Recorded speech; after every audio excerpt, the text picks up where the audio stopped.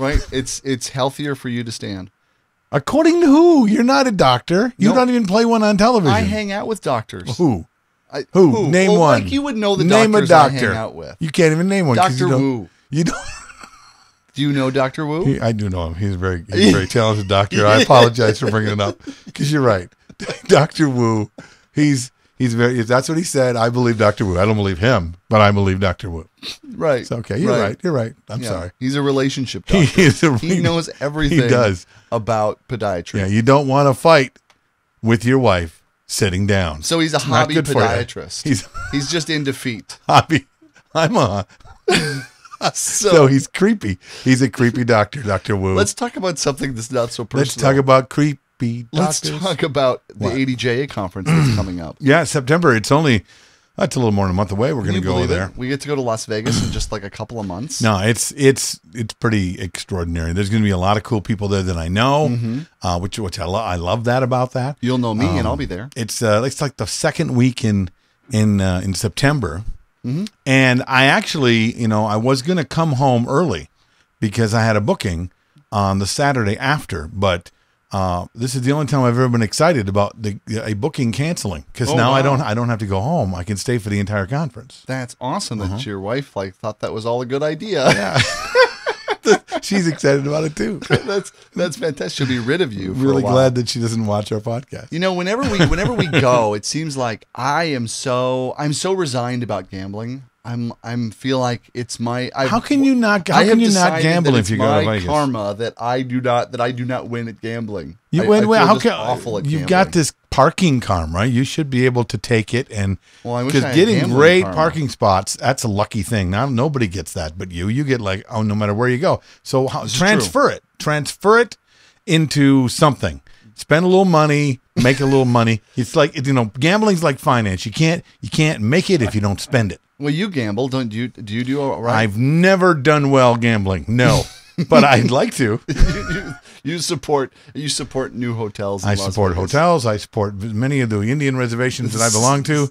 I uh, I, I support my local bookie with my football pool. I do really poorly at that as Awesome. well. Well, you know what? I brought. I, I recently went. You know, I recently went to California with John. Yes, and we uh, went you- to the digital entertainment Digital expo entertainment thingy. that was about the time First that the, the medical marijuana came out, and it was really really No, popular. that was years ago. Oh, that was another trip to California. I like that story better, but go ahead. Go ahead. No, go ahead. I'm good. anyway, so he and I got together and we got to talking, and he was talking about this amazing experience that he had. Uh, and I'll have him tell the story about how this came about. That he started going to Las Vegas like once a month. John wasn't. John Young. No, no, no. My friend Tom that lives in oh, California. okay. I met up with. Oh, I'm not Okay. telling this well, am I? No, you did. So you said, So- you said something about a guy named John. Yes. Now I went there with John, but I met up with Tom. Are you Tom's following an me old so Tom, far? and Tom is a friend of yours. Tom's a friend of mine. Okay. Yeah, a high school that I graduated high school from. We've been we go way back. So you wait a second. He's from he's from North Dakota, yes. like you, Mm-hmm. Devil's Lake, and you only got as far as Minnesota. Well, he got all the way to someplace you know with really good weather and He- actual trees. He grew up drinking bottled water, so he wasn't as affected Oh. as I oh, am. Oh, so you've insulted him now because he's who he's all he's all casnooty because drinking his bottled water no, no, around no, you're missing you. the point. It's like whatever was in the water that affected my ability to like you know have as do big things in life. Or do anything for that matter, you know. Whereas he's had this like amazing career, which uh, we'll we'll talk about. Oh, like, okay. So yeah, he's in like the world of mergers. Why do we want- why do we wanna talk about him? Like, well, Why- because he figured out the secrets to like both winning at gambling and and what why not winning at life. winning in life. So he he doesn't have a job anymore. He just goes to Vegas and and makes money. Well, actually, no, he does. But here's here's the thing. Okay. Is that is that uh, this is why it's winning at life, right? Because if you can go to Las Vegas and you can eat for free and you can stay for free and you can gamble and win more often than you lose, I say you're winning at life. Well, I but I've gotten free stuff in Vegas as well, and the way I do it is I they just I just spend so much money that they're like, well, he's a dumbass. We should bring him back. Here, have a free room. Ergo, welcome Tom Erlandson to the show. okay, hi Tom, how are you? Doing well. How about yourself? All right, let's try that one more Tom time. Tom is from California. He lives in California now, but you uh, you were school friends with Jason, and you guys went to uh, to to high school in Devil's Lake. Which is an actual place. Those of you who've never looked it up, Devil's Lake, North, Lake, North Dakota. And uh, Tom, like he said, is in mergers and acquisitions, right?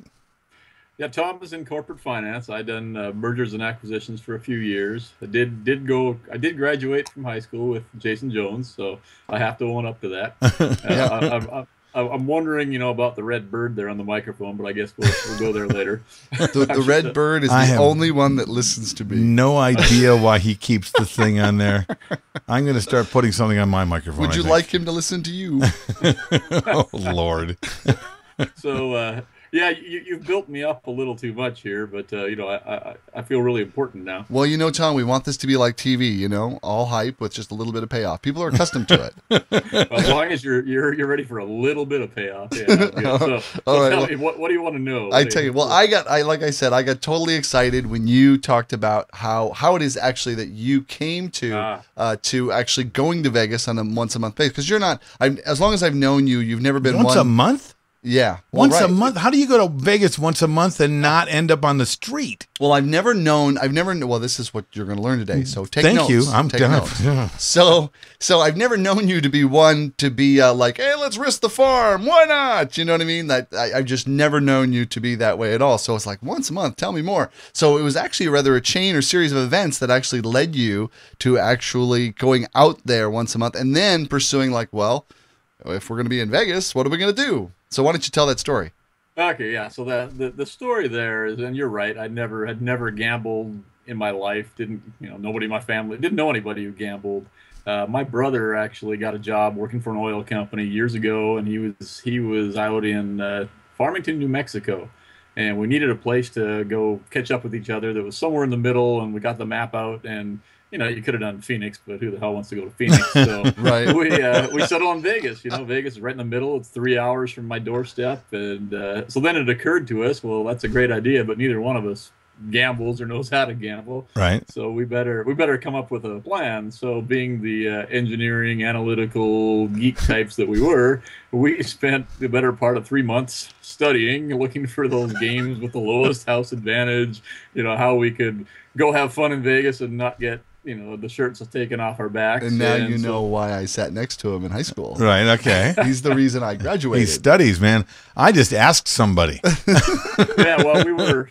So we were. My brother was even more bored than I was. I mean, he wrote a VB script simulator for Craps was the game we we decided on. Well, and, and I've always heard that Craps has got the best odds. Is that is that Craps- absolutely right? Craps, when played correctly, I believe the house advantage is like 0.6%, something like that. So it's as close to 50 50 as you're going Wow. to get. When But played there's a lot of- correctly, the what I, I, I I didn't know there was like a regular correct way, and there, there must be a I mean, when when it's, when it's played really incorrectly, it must be really terrible. There are plenty of bets that have at least a 16 to 20% house advantage on the table. Oh So wow! Okay, so, So- these are these are the ones that we want to avoid. They are, uh, and to back it up one step further, my Yeah. father-in-law is a high stakes player, and I so I had seen the game, didn't Uh-huh. understand the first thing about it, and I I remember before that, a couple of years prior to this, uh, being at a table with my father-in-law, and I was bored. It's about midnight, and and I pulled out a hundred dollar bill and was going to throw it on the table, and I remember him picking up the picking it up and handed it back to me and said. You know, don't. This is you'll lose it. Don't play the game until you learn it. So, right, right, right. and It's like you're just going to lose it- that money. it It won't be fun. And it turned out it was one of those first, you know, those, you hear stories about beginner's luck. Well, Mhm. even though we had studied and read books and we thought we knew what we were doing, Right. it was it was my brother and I and another friend of his from university, and uh, we all show up in Vegas and for a guys' weekend, and it was literally one of those things where you could do no wrong. Every Oh, table wow. we, we went from one end of the strip to the other. Every table we hit, we either broke even or made money, and, and we're only playing like five dollar tables. Don't get me wrong, we're, we weren't betting the farm. But uh, you know, one of those days that's good enough. You look back at the end of the day, you're having a steak dinner, and you're thinking, "We should quit our jobs." And Right. Like, You what are we they just doing? push chips at you. All you Well, do yeah. make money. Yeah, but you uh, can't. I've you- had some trips that went the other direction. You can't too. quit, quit your job on break even and and, and make a little you- though. But for a bunch of guys not too far out of college who didn't know what they were doing, and we still pulled in a thousand bucks in you know just a few hours, and we're thinking, oh, this is this is easy money. Right. Yeah, Yeah. right. pretty good. Exactly. It's like all we got to do this is like you know six times a month and we're set. yeah, we it- set it enough turn- to pay the bills. and it turns out it doesn't really work out like that, but but it sounds good.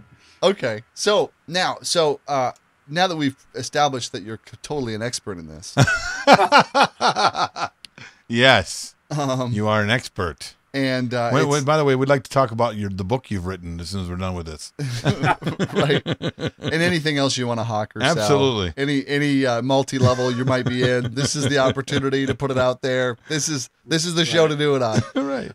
but how can you give us kind of it can you kind of in a nutshell kind of give us like the do's and the don'ts of craps like can you make me like a, a craps player who won't come home to the guillotine by his wife if he goes and plays Sure. Well, all it's actually remarkably simple, and it's so stupidly simple. And the reason this game works is if you're ADD personality like myself. Uh-huh. uh The the other skill. game you could play is blackjack. I don't have the the mental stamina to sit there at a blackjack table and remember to count the cards and i thought the and odds were terrible at blackjack though no, actually played played No. correctly. Blackjack is very similar to craps. It's just uh, it takes a lot longer for anything to happen. Craps is, you know, like I said, if you're an ADD personality, craps is instant action. It never stops. But if you're looking for things to you want to do and not get in trouble with the wife, a first thing, and I've taught classes actually to our senior executives. at That's ADP. outstanding. I- Even No actually- kidding. this makes him even more of an expert see Do you make money when you teach these classes? Because there's where your expertise comes in. No, no, unfortunately, and it was it started out as kind of a joke. Uh, we we used to have a round robin where every time we'd have monthly meetings, somebody would bring in it bring an exercise for the group to do, and I jokingly brought up, you know, I've got a craps fell to the house, and you'd be amazed how fast was- all these senior execs signed up, and all of a sudden I had a full house for training. So we spent three hours uh, basing them, basically training them in craps. But to get back to your question, of course. Yeah. uh, quickest thing is bet the pass line. You know, it, you you could do nothing else other than bet the pass line, and what that is is when the when a new shooter grabs the dice, Mhm. and before they throw the dice, put your money on the pass line, and you could just stay right there. And what you're doing is saying, I'm betting that they're gonna. If they roll a come out roll and it's a four, I'm betting they'll roll a four again before they roll a seven and, and crap out. Right. That's the simplest bet, and it's actually one of the safest bets. Um, house odds is the second thing I would teach you. Uh, you will see most tables you go to, they'll offer two times, five times odds.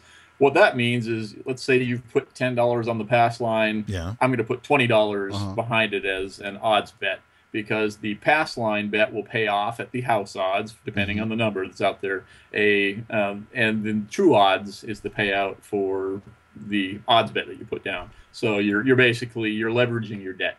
Um, and then you can do come bets. So that's the third thing. Those are the three things you only really need to know about craps. okay so Um, so to make this so, So there's there's there's dice in this it. game, right?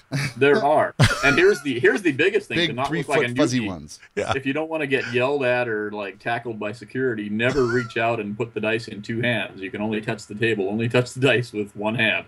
really I know get- I know several What, is places so that you, can can't, only like you can't switch them out with some other No. dice, like some No. little sleight of hand. Is that I- why they do that? I know several places in Las Vegas where you can only use one hand, and it Uh, has every nothing to do with the Vegas. Does nothing to do with gambling, but you can only use one hand in a lot of places in Las Vegas, like that. yeah. You care to elaborate? no, on I don't. places? So anyway, so the pass line. Okay. oh yeah. okay. That once again, don't bring don't bring it back to what I was talking about. Oh well, you can no, elaborate. no, no, that's you said okay. you didn't want to elaborate. no, you brought it up. on these places you What's go the pass line? with without me. What's the Well- pass line again? So the pass line is craps 101. That Right. if you are betting the pass line, that's the bar that goes around the table where you see all the players setting their chips on to start the Okay, and so game. my question is, is that I let's say I put five hundred dollars down on the pass line. First of all, wow. Well, Yeah, I'm- I'm- exactly. I'm- Man, oh man, what do you? I know a little bit about craps. You know, you know, you're playing a five hundred dollar table, man. You're making a lot more money than I thought you were. I'm gambling with your money. okay. okay or your money anyway so uh, let's say i put $500 down so what what i'm gambling on is that the very first thing he rolls he's going to roll that again before he craps out the first roll that he rolls See, I'm not to, I'm not trying to confuse you guys too much, but yeah, what you're saying is this: he's going to throw what they call it a come out roll. It's Right. how he's going to set the table. Okay. So there are numbers you see out on the table: four, five, six, eight, nine, and 10 Mhm. Right. You're hoping he sets one of those six numbers. Right. If he weird things can happen if he rolls a two or three or twelve, you're going to lose your pass line bet. If he rolls a seven or eleven, you're going to double your money. Right. But to keep it simple, you're saying he's going to roll an eight. Right, and then right. the eight is the point. So when you have money on the pass line, you're betting he rolls an eight again, again, And then you- before then he rolls win. a seven and craps out. If he rolls a seven before that, you lose your money. If he rolls the eight, you're, Awesome. you're in the Right money. now, a little bit that I do know is as he rolls, trying to get an eight. If he's not rolling, if he doesn't roll a seven or an eleven, right? hmm Okay, if he, if he rolls anything but a seven or eleven, even if it's not an eight, you get paid. You won't necessarily get paid, and I'm s- I have to apologize. So you didn't I've got I've, I've been playing So, with a different game. yeah you're you're you could get paid and that's where you get into the whole subject you can buy you can buy the numbers you can Right. put come bets out there you can cover the other numbers Right. but if all you have is your eight your pass Oh, line just the pass line the bet, eight, that's right. you're only getting paid on the eight That's right. you Okay. really as long as he doesn't roll a seven you don't care what else he Right. rolls. It doesn't matter. So until then, you Right. can you can throw out that I want to see six. So if he throws a six, I win. If he throws a, a four, I win. Uh, but if he hits a seven before he gets to his eight, then I lose it all. Right. Am I correct? You're you're oversimplifying but uh, but yeah yeah if, if he rolls the if he rolls the seven first you are sol Well, I am Right. Mister Under Right. Oversimplification. Okay. So then, then step now step two was a way to kind of manage your risk. Was that correct? Did I understand you right? Well, uh, the way the thing I teach people about craps is if you picture a sine curve in your mind, the the craps table essentially works like a sine curve. You know, the swooping like this deal. I'll put a The picture. problem is you never know when you get on that table. You never know what part of that curve you're on. So, are you on the downward segment or are you on the upward segment? okay. So there's a few rules of thumb. Uh, first thing I tell people is if you're playing a five dollar table, and let's say you're playing a five dollar table and you're taking double odds. So if you have that pass line bet and your double odds bet, you've got fifteen dollars on the table. Okay. The rule of thumb is whatever the bankroll you need in your pocket should be seven times that amount. Which is why when you see somebody roll up with forty bucks and throw two crumpled twenties on the table, they're in trouble. Uh, Because they're not going to So- write it out.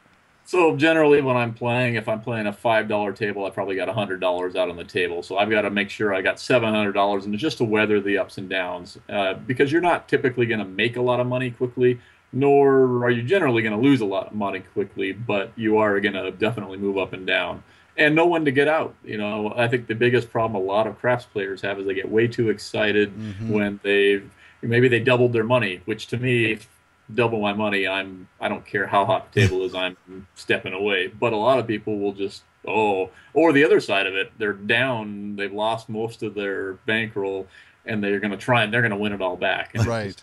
it doesn't Right. work that way. well, that is the that is the question that that, that I I want to know the most is if you can simplify that answer. When do you get out? so. And for Can I take my this? rule, When you're winning. well, that's very yeah, that's actually a, a good point. I mean, true. when I'm winning, Yeah, right. But when you know, like when it's when it's like, ooh, I'm gonna get in again because I'm on a roll. You know that eh, too excited thing. Yeah, well, I, I always know at any given time how much I'm up on the, whether I'm playing on house money or not. What I am, if there is a shooter, still shooting, he hasn't cracked out yet. When he craps out, if I'm up between 50 and 100 percent, I'll walk every time, just because. Especially if you've had more than one shooter who's made you money in a row, because the odds are, I mean, that seven It's gonna seven go comes up down the often sine enough. curve. So you're talking? Are you talking uh, fifty percent of your bankroll or fifty percent of the money you've bet? Exactly. If I'm up 50% of what I went in on on that table, and I'll generally just throw my bankroll in. Uh, so if I'm walking up with $500, I'll generally just take out 500 in, in chips. And this kind of goes back to I, I know you guys were interested in how the comp system works. Yeah. I know it's it's changed a bit over the years, but that was part of it. They're looking at how much you're playing with. They're looking at your betting strategy. They're looking at how much you're betting at any given Mm. time. So even if you've got a thousand bucks in your pocket, but you only throw a hundred bucks down at a time, it's probably not the best strategy in terms they want to. But if you put the whole thousand down, even if you planned on getting out, They're paying attention. They're paying attention. They're attention. paying. They're paying attention to what you're doing. Oh, look Right. at that! He's, he's got a thousand dollars he's going to spend, even though you might not. If they see you have it out, Th- Right. they Precisely. figure you might, so they're going to throw some. Because the, the one thing I do know about Vegas is, you, the reason that Vegas win, uh, Vegas always wins, is because people always think they can do better.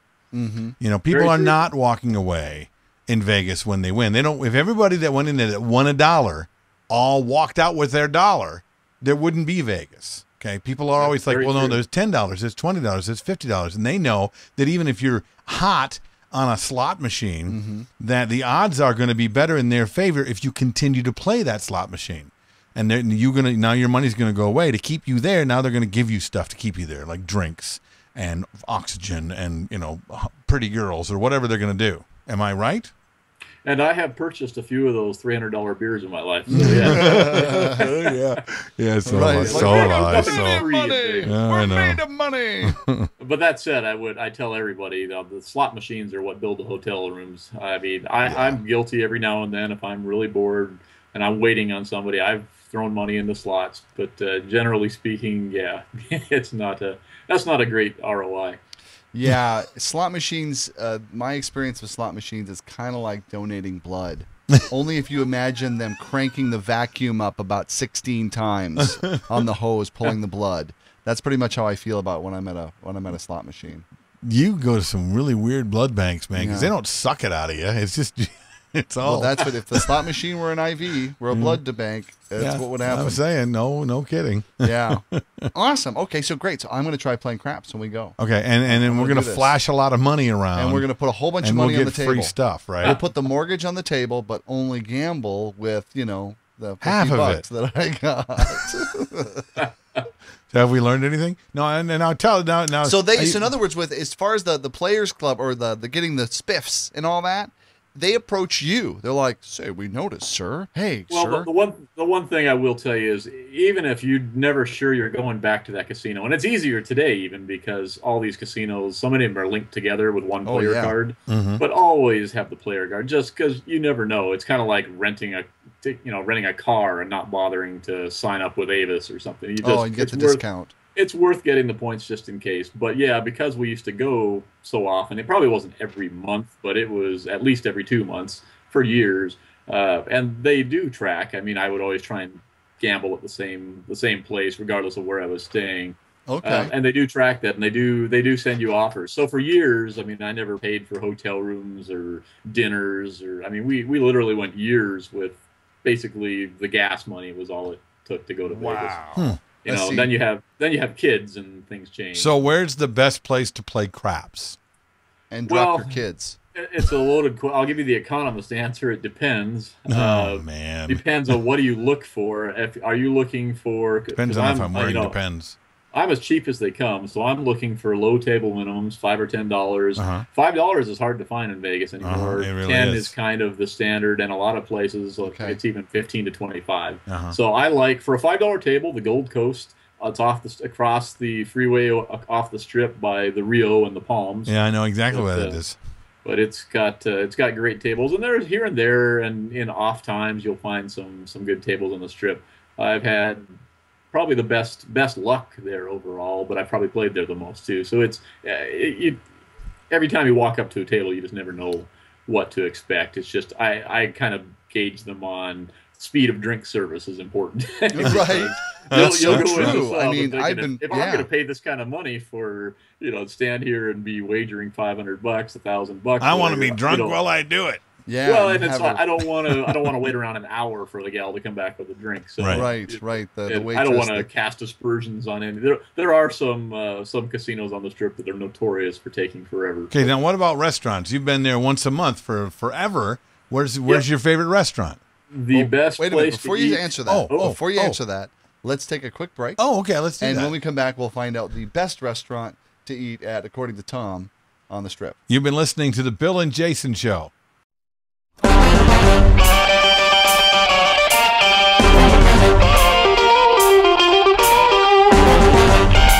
We needed to know what fills the dance floor.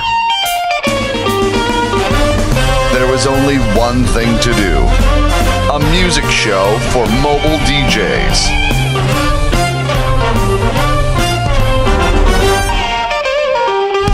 Here comes Music Talk. We talk to DJs all across the country.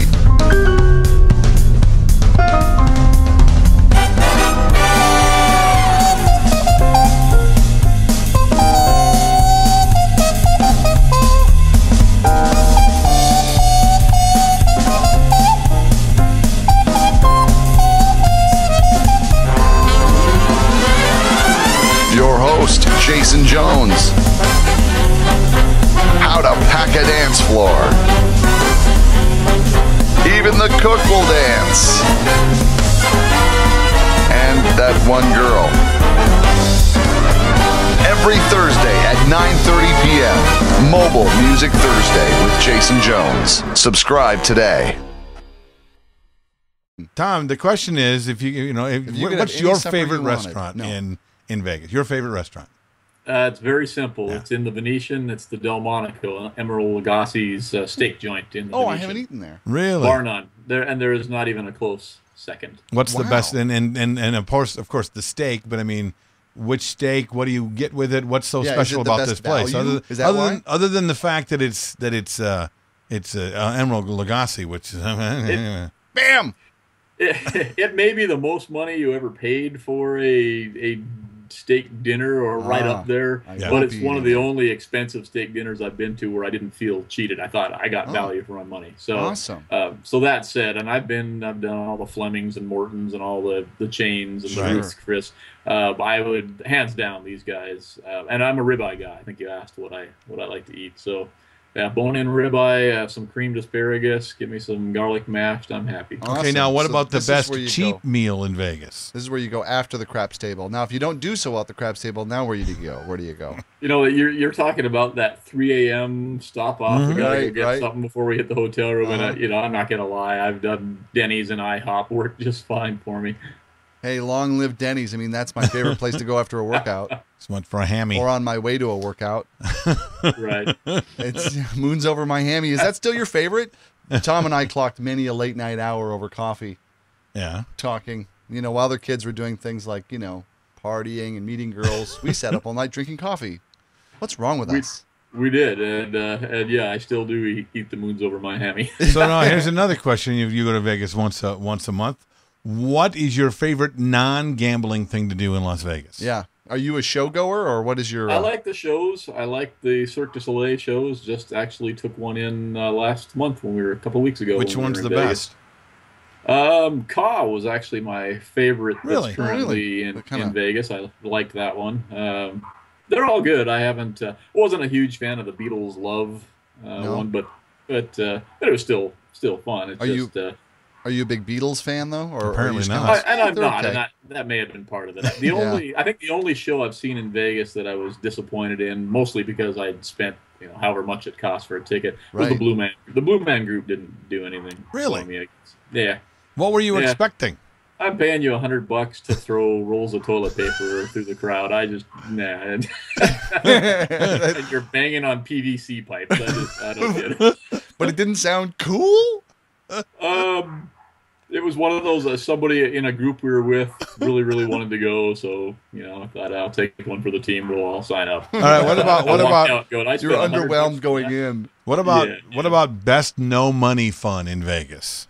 Yeah, the You cheapest the cheapest way to have fun in Vegas. People watching. I mean, Vegas is crazy. I mean, you guys have been to Vegas. You you can you can pick a park bench and just sit there and watch the uh, all kinds of crazy go past. So yeah, you know, I, we still wander the strip and do the Bel- fountains of Bellagio. Uh-huh.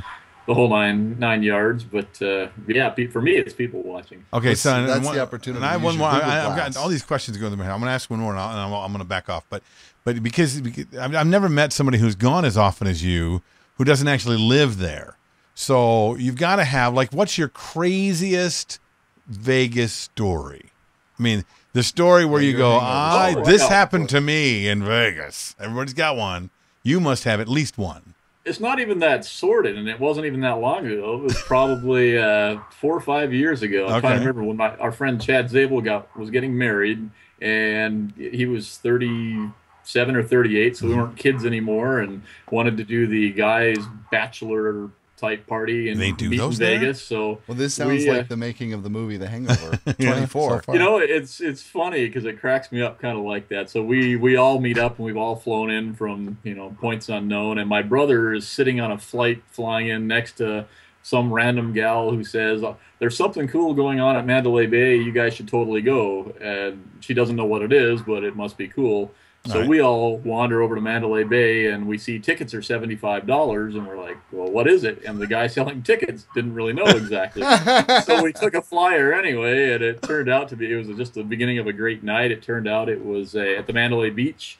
They had live live music that night. Oh, Was wow. Third Eye Third Eye Blind, I believe, was the band. Oh, wow. And 36 wineries in residence, and you walked through the gate, and they gave you a wine glass, and there was food, and you just went to town tasting wineries. We'd been there, place just packed. I mean, wow. Packed to the gills, Mm. and we're standing elbow to elbow with people, and we hear a voice behind us say, "Gentlemen, you look like you guys could use a place to sit." And we turn around, and and somebody starts whipping out all this cabana f- furniture, and they set up a cigar bar. So Wow. we're like, right on, this is awesome. so the rest of the night, everybody wanted to be our friends because we had this whole cabana to ourselves, and they probably who are they? we- Who is that yeah, guy? we must, must be, be, somebody. So we kicked back watching the band, and, and that in itself was, you know, pretty cool.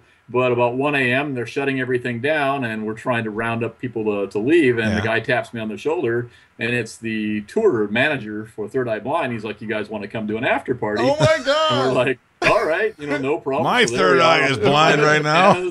And, and spent the night partying with the band. You know, if you if you held a gun to my head, I couldn't name three songs they had. Right, right. You didn't you didn't mention that when you were there though. I That's hope. awesome. Uh, no, no, no. It was uh, we had a good time, had a lot of fun. P- went till four or five in the morning, I think, which is way beyond this guy's bedtime. But uh, Wow. spent the last two hours listening to their manager, trying to get them out of there because they had to get on a plane to whatever Oh the next God. spot on their tour was. Wow. But, uh, so yeah, that was that's probably my most interesting non-sordid uh, story. Yeah. Oh, no so there are. kidding. So what he's saying is that that's a great story, but he's got sordid ones That's the, that's that the he best won't that- share with that us. Happened, yeah. Okay, when, The worst when it happened was like, oh, strip club, you'll pay me a dollar and it's in the basement. Let's give it a go. How bad can it be? I must really be in good shape. I look like I work out. All right, well, So you're not going to tell us ground, that story. ground that right to a s- stop, didn't we? So there are sordid tales, is what you're saying. Oh, there.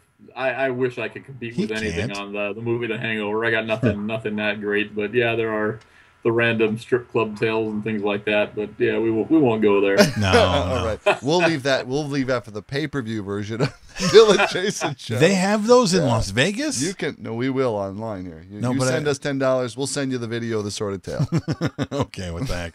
We better come and up if with a somebody sends us ten dollars, we'll come up with a story. we'll make up a story. No We'll make- problem. and it'll be a good one, Too. It'll be all about Tom. It'll will be. Tom, right. this is awesome, man. Um, is there now? What's your last bit of advice for anybody who's going to go to Vegas, wants to spend a little bit of money, but uh, come away with a bunch of freebies? Yeah, the I mean- economist's point of view. You know, from that, I'm an economist. Uh, going to You know, Vegas, maximizing fun for the investment. Go. if you really wanted to go off the deep end, you'd do what my brother did. So Oh. he was so into it, and some of his coworkers were so into it years ago. Yeah. And I think Jason, I told you about the line of credit story. You can actually go so far as to take out a casino line of credit, and in his case, I think he took a five thousand dollar line out. Wow. And the way it works is you're basically getting a 30 day interest free loan from the casinos. And Scary. the way it would work was he would take out a $5,000 line Yeah. and he'd walk up to the crap table day one and say, uh, I'm, he would write a note for $1,000 and would play with, play on that $1,000. You know, he might only lose 50 bucks, maybe he's up, but he would take whatever chips he had left that session, put them in his safe back in his hotel room, would never play with those again, rinse and repeat eh, Oh. the entire time you're in Vegas till you've used all five thousand dollars. So you may actually be up on the house, but from the casino's point of view, You've lost it you, all. You've burned through five grand because he would be, you know, you'd pocket chips. It's getting harder to do now. They're they're using the RFID chips inside their chips now, so oh, they know. sure. But in the it, back in those days, you know, you could have a thousand bucks, pocket eight hundred, and show an eight hundred dollar loss when you when you cashed out at the end. And so when it would come time to settle up the bill and all the spa treatments and the the dinners and everything else he'd be doing at the hotel, uh, he'd be showing this huge gambling loss and and used to get his basically his trips comped that way. So Wow. That's that's probably the best way. In this day and age, it's gotten tougher. They've gotten they've gotten a lot better at paying attention.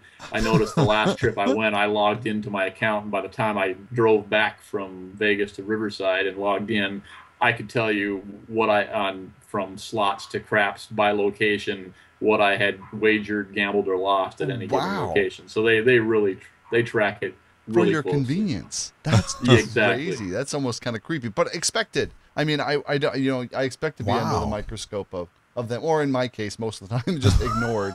Tourist, ignore that one. Oh yeah, that guy's No, just no. wandering around, you Yeah, know, picking lint out of his belly button. Yeah, I'm only He's good for twenty bucks here, twenty bucks there. Tom, thanks for coming on the show and Yeah. sharing all this awesome knowledge. Now it's like every DJ that we know is going to be huddled around a craps table. Are you gonna? yeah. Maybe we should make sure he's in Vegas when we're gonna be there, and we can introduce him to a bunch of guys. He can do a class on how to do this, There make him a little money. What a great idea! You want to do a workshop in Vegas? Well, yeah, we, we could do that. All right, we'll work it out. All right, Wow. I've taught a few awesome. people. So, yeah. terrific. If you want to see Tom come out to Vegas, you send us a note, Bill uh, at billandjasonshow.com or Jason at Jason uh, billandjasonshow.com. Uh, if we get enough of you that say you want to do this, we actually might do this. I Yeah, mean, that'd a- be really awesome. Send it with a ten dollar bill, and you know anything can happen. So if you haven't tweeted There you us on. Twitter, go tweet. Yeah, go to Facebook and like us there. Tom, Uh, hold on, all that just a moment. stuff. Just a moment. I what what? Well, I'm doing the stuff. No, stuff. I know you're doing the wrap This up, but I wanted to thank Tom before we wrapped You up. You just did. No, I didn't. Tom, thanks for being on the show. No problem, guys. Thanks for having me. I loved, I loved, loved having you here. I, I loved, uh, loved everything. Take care, my friend. Good deal. All righty. You guys have a good one. All right. Thanks a lot, Tom. Oh Hmm. man, that was super fun. We should have Tom come back again. I'm sure he'll have to learn how to gamble or be good at gambling on something else, and then he'll come and tell us. I think he, what he's gambling on his reputation just being on our show. oh no, not at all. Well, actually, he'll probably get a lot of requests now for like instruction. Yeah, well, we'll have to send him every one. I we're probably starting a new business for him now. And I just saw, I just thought of a new service that, that my wife does free for me, Mm-hmm. but but could be like for everybody, which is called the Save Your Winning service. oh, okay. I Yeah. thought you were going over. Whenever I gamble with her and I'm up money, she's like, "You're done. We're out of here." and I'm like, "Okay," but then I'm, I'm ahead instead of when I'm alone. All right. So we can. That's that's my new. Don't tell anybody.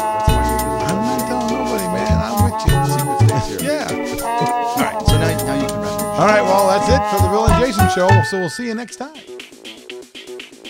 Broadcasting from high atop planet Earth at a rate of 96 kilobytes sampled per second over the interweb in an effort to stop glorifying being busy. This has been an entertainment experience production.